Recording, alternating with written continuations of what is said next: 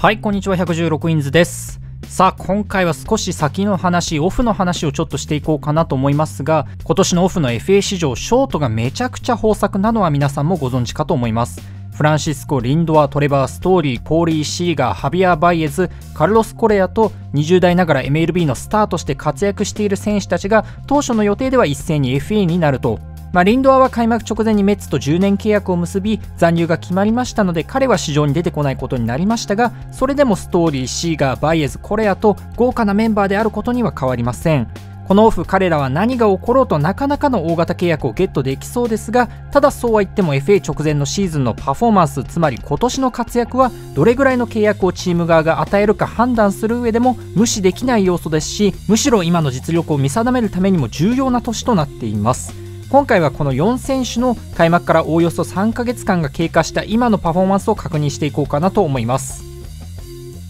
はいまず1人目ロッキーズのトレバーストーリーですね来季が29歳のシーズンのストーリーですが、打者有利なクワーズフィールドが本拠地といえど、攻守の安定感18年、19年は35本以上とパワーもありますし、また怪我による長期離脱もほとんどないので、とりあえず試合に出てくれるというタフさも魅力の選手です。ロッキーズは昨年のオフにアレナドをトレードし、チームとしては再建に舵を切りつつあり、またストーリー自身もロッキーズと再契約する意思はないという旨の報道が先日出ていましたので、FA になる前にロッキーズではない球団でプレーする可能性、来月のトレードデッドラインで動く可能性のある選手としてもまた注目されていますね。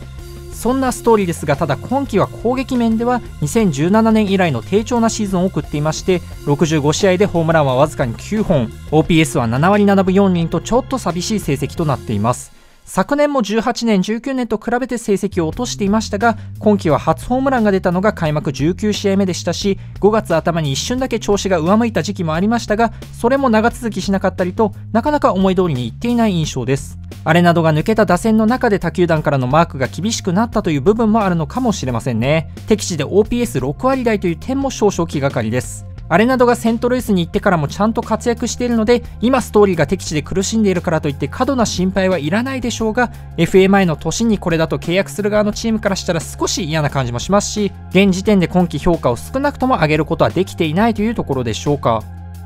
2人目はドジャースのコーリー・シーガーこの4人の中では唯一の左打者のシーガーは来季が28歳のシーズン。シーガーといえば昨年のポストシーズンでのバッティングが最近では特に印象的でしたよね。ポストシーズン通しての OPS が11割7分1厘18試合でホームラン8本と活躍しドジャース悲願の世界一にも大きく貢献した選手です。昨年は短縮シーズンながら MLB に定着した2016年以降ではキャリアハイクラスの成績を残していましてポストシーズンの暴れぶりも含めてかなり評価が上がった印象でしたが今季はここまで先ほどのストーリーと同様にややスロースタートかなといった印象です。37試合で打率2割6分5厘 OPS7 割8分3厘ホームランもまだ4本さらに不運なことに5月15日のマーリンズ戦でデトワイラーの速球が彼の右手に直撃して骨折してしまいました。近々マイナーで実戦復帰するようで順調にいけば7月上旬ぐらいにはチームに戻れる見込みですが FA 前最後の年に2ヶ月近く離脱してしまったのは少し痛手でしょうか。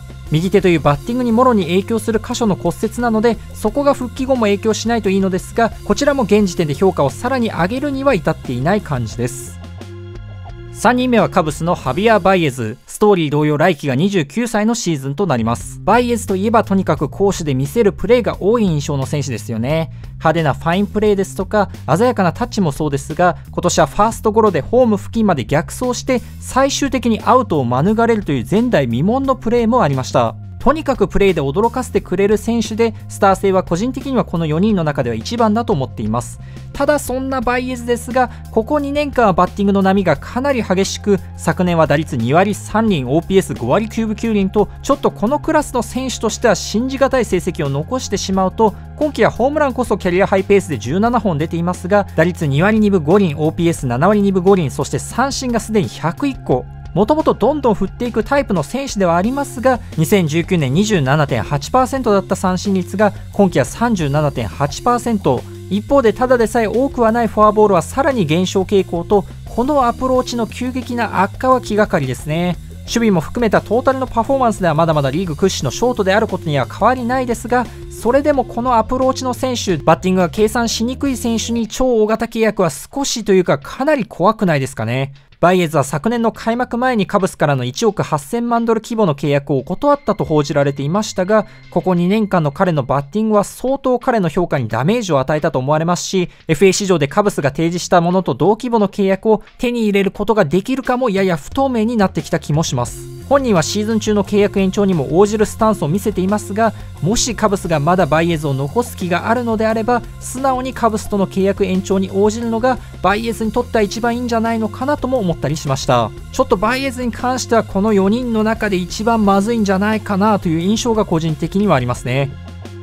最後は皆さんの評価が分かれるであろうアストロズのカルロス・コレアですね。来季が27歳のシーズンと今回の4人の中では一番若い選手です。コレアは一連のサイン盗みの件で端的に言えば余計な発言を繰り返し、反感をかなり買ってしまった印象ですが、ただ昨年のポストシーズンでの勢いそのままに今季キャリアイヤーを迎えていまして、72試合でホームラン15本、OPS9 割3分9厘、そしてウィンザーボブリプレイスメント4.1、このまま順調にいけば最高の形で FA に突入できそうです。アストロズは今季開幕までにコレアとの契約延長を試みて、報道によれば6年総額1億2000万ドル、5年総額1億2500万ドルをそれぞれ提示したようなんですが、いずれもこのオファーに対してコレア側は全く希望に届かないとして断ったようなんですね。つまりコレアの希望は相当高いと。本人は自分自身のことをリンドアと同等と考えているようですので、リンドアがメッツからもらった契約希望を要求している可能性すらありそうですね。確かにコレアはキャリアのウィンザボーリプレイスメントがすでに30を超えていてこの数字に関してはリンドアを上回っていますしそれでいて年齢もリンドアより1つ若いので彼の言い分自体はそこまで的外れなものではないと思うんですが一方でこれらに常につきまとうのが怪我の問題ですよね。今年はここまで問題なく来ていますが、コレアは昨年の短縮シーズンを除くと2016年を最後にフルシーズン戦えた年がありませんし、この間の最高は2018年の110試合、シーズンの結構な部分いない印象もあります。もちろんフルシーズンを戦った経験のないタティス・ジュニアが3億ドル以上の契約をもらえていますので、コレアが3億ドルの契約をもらえるのもありえない話ではないにしても、タティス・ジュニアについては契約開始時の年齢が22歳、コレアは27歳からとなりますので3億ドル規模の契約はいくらコレアのパフォーマンスが優れているとはいえどのチームも二の足を踏みそうだなという感じもします。ただコレアの要求には届かなくとも他の3人が今季まだ評価を上げるに至っていない中で年齢面で一番若いコレアがキャリアギアを送っている点は強いアピールになるでしょうしこのまま健康と成績を維持するようでしたら、アストロズが彼に提示した額以上、それこそ10年近い年数で、総額で2億ドル中盤からもしかしたら後半ぐらいを出すチームが出てくる展開もありそうなぐらい今のコレアのインパクトは大きいと個人的には感じています。ということで今季のパフォーマンスという意味では今のところコレアの一人勝ちといった印象です。サイン盗みの件もありましたのでそんなにいい契約もらえるの？と疑問に思われる方もいらっしゃるでしょうが昨年のオフにスプリンガーが順当にいい契約をもらいましたのでまあこれは欲しいチームは普通になかなかの金額提示するんじゃないかなというのが私の意見です。もちろんそれで納得できるかは全く別の話ではあるんですが感情抜きにして今のこれは成績面で一つ頭抜けていますしそれでいて一番若いので人気も出そうだなと思いますね。コレアが今季怪我なくシーズン駆け抜けたら契約総額で4人のうち1番の契約をゲットするなんて展開も絶対ないとは言えなさそうかなという感じですね。シーズンもそろそろ折り返し後半戦に差し掛かりますが、ショートの目玉の4人、果たしてどんなパフォーマンスを見せてくれるのでしょうか。ということで今回の動画は以上としたいと思います。今後もですね、MLB に関する動画を上げていきますので、興味のある方ぜひチャンネル登録していただけると幸いです。それではご視聴ありがとうございました。